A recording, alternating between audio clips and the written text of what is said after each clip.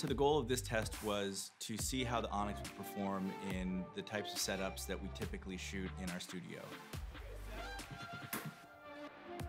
12,000 frames per second at this quality is something we haven't seen in any camera before the Onyx. So we were really excited when Abel asked us to do a test. A lot of preparation went into the art and the props, so we had an overabundance of options because we knew it was going to be a lot of experimentation and a lot of learning. We weren't going to bring flamethrowers or shotguns, so we needed things that had some sort of surprise or reveal or some cleverness to them. One of our biggest challenges was just thinking of things to shoot at 12,000 frames per second that wouldn't look like a still photograph when played back at 24.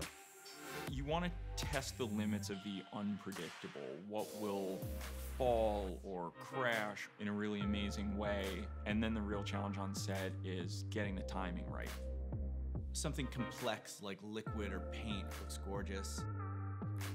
As opposed to just flying through your frame and a droplet disappearing, that one droplet can be really the focus, the beauty of your content. Another challenge in shooting such high frame rates is lighting. Our studio has 20 amp circuits. We couldn't plug in 10K lights.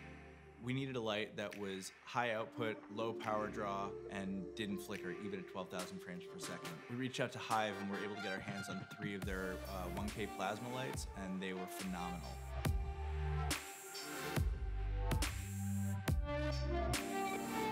You're defying physics with a camera like this. You're seeing what seems impossible to a mesmerizing degree and at a quality that's unmatched by any other camera. When you see something slowed down to that level at that quality, it's stunning.